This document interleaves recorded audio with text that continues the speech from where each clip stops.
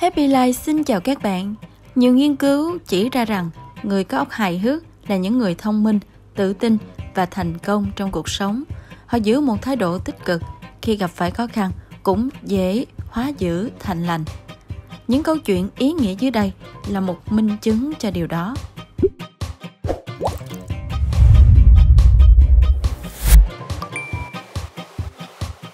Kẻ trộm là anh ta chứ không phải là tôi.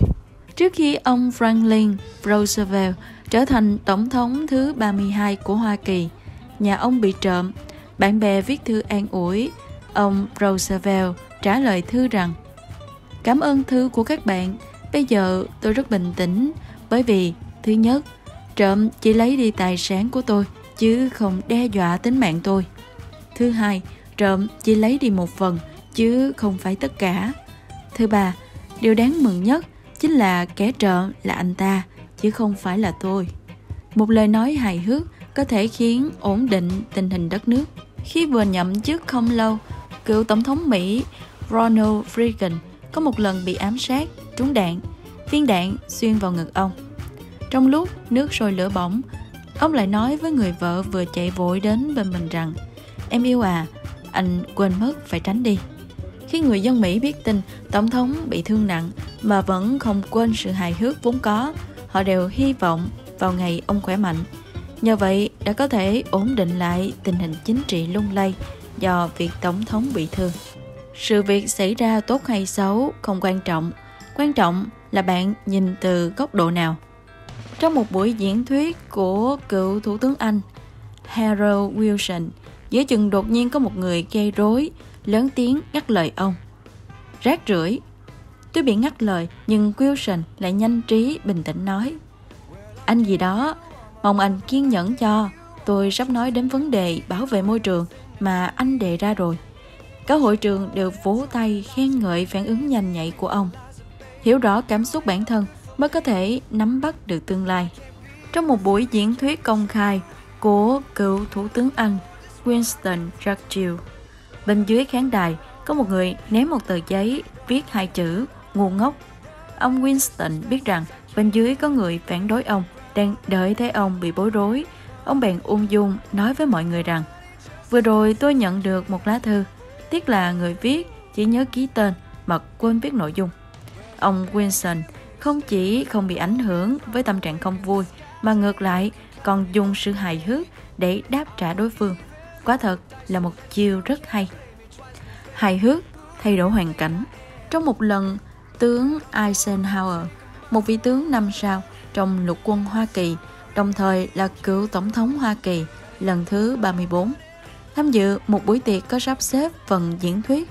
Tổng cộng mời 5 vị khách quý đến góp lời. Ông Eisenhower là vị cuối cùng lên sân khấu. Bốn vị trước đó, mỗi người nói rất nhiều. Đến lượt ông, đã gần 10 giờ rồi.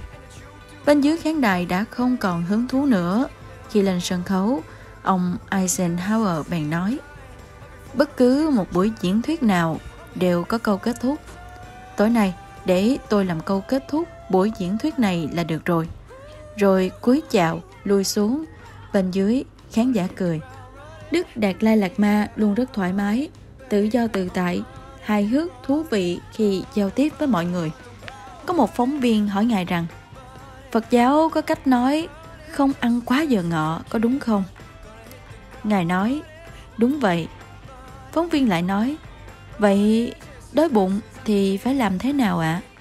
Ngài trả lời, thì xuống bếp ăn vụng thôi. Nhà văn nổi tiếng của nước Mỹ, Mark Twain, có một lần do không đồng tình với phương án nào đó được quốc hội thông qua nên đã đăng một bài viết trên báo rằng nhân viên quốc hội có một nửa là đồ khốn. Sau đó tờ báo được bán ra. Rất nhiều cuộc điện thoại phản đối gọi đến. Các nhân viên quốc hội cho rằng những lời này là không đúng. Họ liên tục yêu cầu ông Mark Twain đính chính. Thế nên, Mark Twain lại đăng một bài đính chính như sau.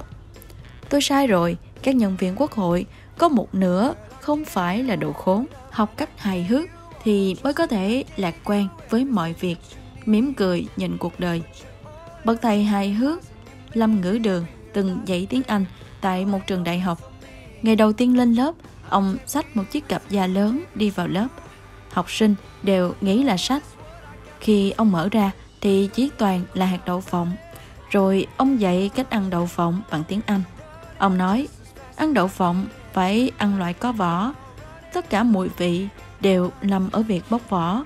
Vỏ càng khó bóc thì càng ngon. Ông nói thêm, đậu phộng còn có tên là quả trường sinh. Ngày đầu lên lớp, tôi mời các vị ăn quả trường sinh. Chúc các vị trường sinh bất lão, sau này tôi không điểm danh, nhưng mong mọi người ăn quả trường sinh rồi thì mạng sống cũng kéo dài hơn. Đừng trốn học. Ông nói xong, các phòng bật cười. Từ đó, mỗi khi ông giảng bài, giảng đường luôn kính chỗ ngồi. Hài hước, hoàn toàn không phải là giỏi ăn nói, mà là có thái độ vui vẻ, trưởng thành, hiểu rõ được điều này có nghĩa là nắm bắt được kết tinh của trí tuệ, có được cội nguồn của niềm vui. Đến đây thì video ngày hôm nay xin được phép khép lại. Nếu thấy video này hữu ích với bạn, hãy ấn like, share và bình luận bên dưới cho chúng tôi biết nhé.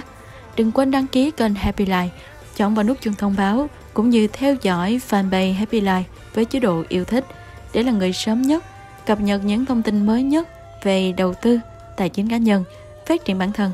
Xin chào và hẹn gặp lại các bạn ở những video tiếp theo.